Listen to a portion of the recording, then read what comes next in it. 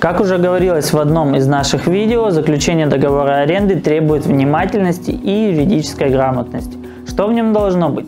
Условия, по которым у подписантов достигнута договоренность, преамбула, а также адрес, реквизиты и подписи участников.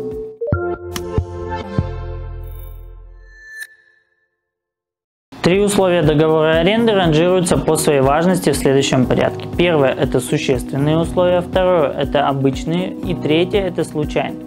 Существенными считаются такие условия по предмету соглашения, которые существенно необходимы по закону для подобных документов и по которым подписанты должны достичь соглашения. А именно это условия об арендуемом объекте должна быть указана полная информация для однозначного установления арендуемого имущества и подтверждения сохранения им естественных свойств при эксплуатации. Если арендуется оборудование, требуется техпаспорт на оборудование, участок земли, его кадастровый план, здание, его поэтажный план. Также по закону арендоваться могут только сохраняющие свои естественные свойства вещи и подлежащие возврату. Не подлежат передаче в пользование изобретений, информация служебного или коммерческого характера, логотипы и так далее. Здесь работает лицензионное соглашение. Вторым существенным условием является предмет арендного договора движимое или недвижимое имущество. Аренда недвижимости обладает своей спецификой, в частности необходимостью госрегистрации. Не арендуется недвижимость, которая предназначена для проживания. Найм жилья регулируется другими правовыми актами и документами. На сегодня не арендуются водные объекты, кроме являющихся обособленными и могущими переходить от субъекта к субъекту на законных основаниях. Законные ограничения могут накладываться и на другие объекты. Не разрешается заключать арендные договоры на общественные железные дороги, оружие, ядерные электростанции и тому подобное. Важно, если по указанному выше условию не удалось достичь соглашения, договор считается недействительным.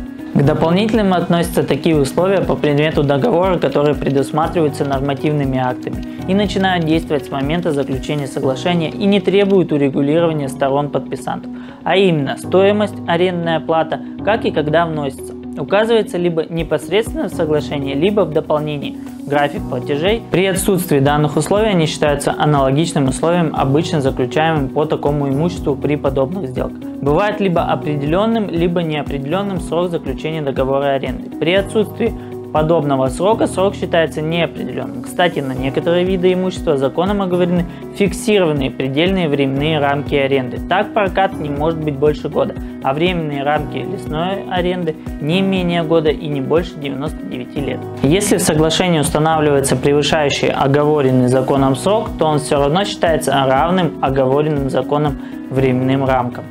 Цель подобных ограничений – предотвратить отчуждение арендуемого дать возможность подписантам изменить условия сделки, условия использования и обязанности и права подписантов. Так арендатор обладает преимущественным правом на пролонгацию соглашения при условии выполнения его условий и предварительного письменного уведомления арендодателя о желании продлить соглашение. В противном случае арендодатель на законном основании может заключить новое соглашение с другим лицом на новых условиях. По окончанию соглашения лицо, арендующее, обязано вернуть имущество в том состоянии, в котором оно было им получено, с учетом предполагаемого износа или в состоянии, определенном соглашении.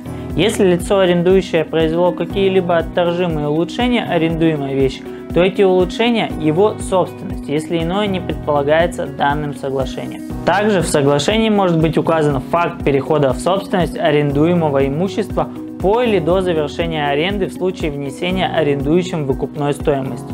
Это условие может быть зафиксировано доп. соглашением. Продукция и доход, получаемый по факту использования данного имущества, собственность арендующего лица. К случайным относятся такие условия по предмету соглашения, которые могут быть внесены только по усмотрению подписантов. Такие условия, как дополняют обычные так и изменяют их. Отсутствие, как и наличие случайных условий в договоре, не оказывает влияния на сам договор. Как и любой важный документ, договор аренды требует ответственного отношения. Чтобы вся процедура от начала до конца не доставила вам хлопот, следует очень внимательно подходить ко всем этапам. Лучше всего, если в этом вам будут помогать специалисты. Обратившись в компанию Роско, которая предоставляет широкий спектр услуг, а именно юридические, аккредитационные, бухгалтерские, регистрационные, вы можете быть уверены, что составленный при нашем профессиональном участии договор будет соответствовать всем необходимым требованиям и гарантированно убережет вас от любых неожиданностей.